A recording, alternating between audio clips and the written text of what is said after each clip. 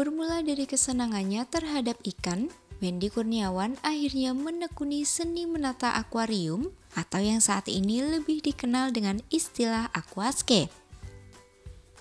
Pria berusia 32 tahun ini memulai usaha aquascape dengan membuka toko bersama kedua rekannya di tahun 2010 bernama Aqua Jaya. Wendy yang saat itu gemar sekali dengan ikan hias mulai mempelajari seni menata akuarium lantaran dirinya merasa akuarium yang dimilikinya selama ini tidak sebagus seperti yang dilihatnya di foto.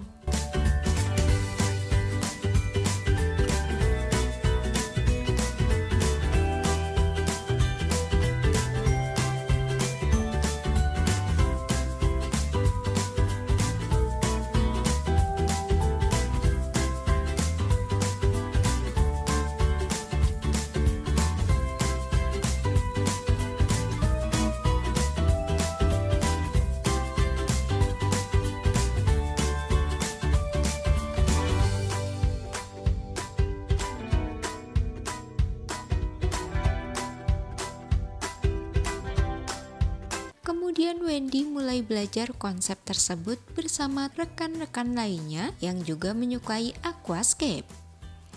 Hingga akhirnya pada tahun 2009-2010, konsep tersebut mulai banyak dikenal di Indonesia. Peluang tersebut lantas dimanfaatkannya untuk membuka usaha akuarium ikan hias. Namun tidak hanya toko ikan hias biasa, Wendy lebih menghususkan usahanya ke konsep aquascape.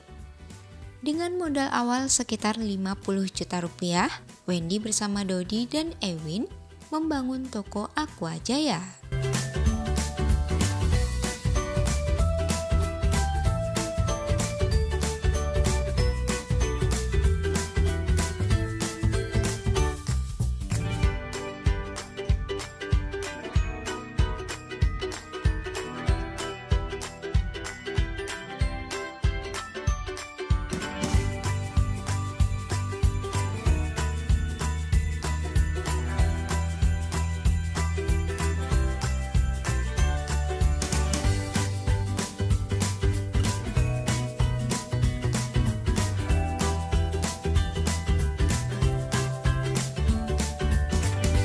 Usaha tersebut lalu dikembangkan secara bersama-sama hingga seperti sekarang ini, di mana omset per minggunya mampu mencapai 20 hingga 40 juta rupiah.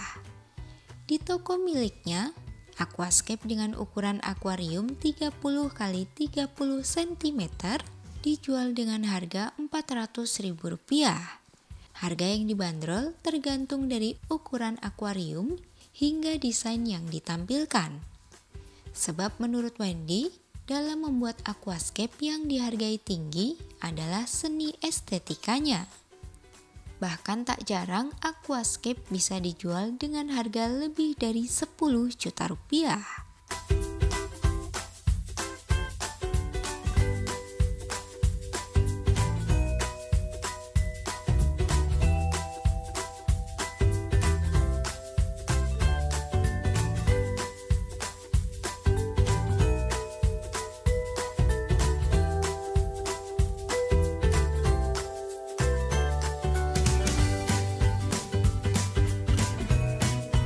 Dari tahun ke tahun, Wendy merasa animo masyarakat terhadap seni aquascape ini semakin meningkat.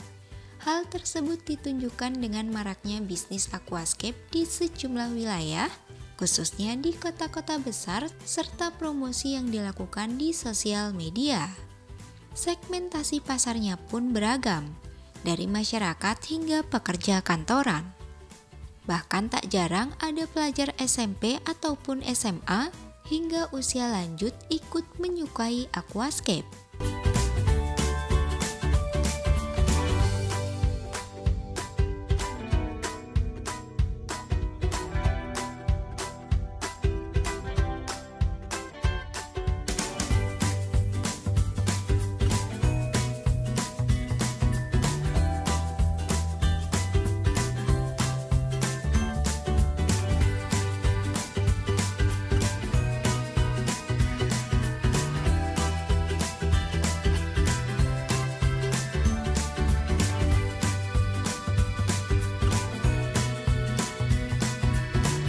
Ke depan, dirinya berencana untuk terus melakukan produksi komponen-komponen yang berkaitan dengan aquascape seperti pasir, pupuk, dan media tanam secara mandiri dengan brand Aquaresat. Begitupun alat-alat lain yang diperlukan untuk membuat aquascape, seperti filter dan lampu yang hingga kini masih impor. Dengan begitu, dirinya berharap usahanya tersebut bisa terus berkembang dan dapat menginspirasi anak muda lainnya untuk membuka usaha baik yang sejenis maupun usaha lainnya.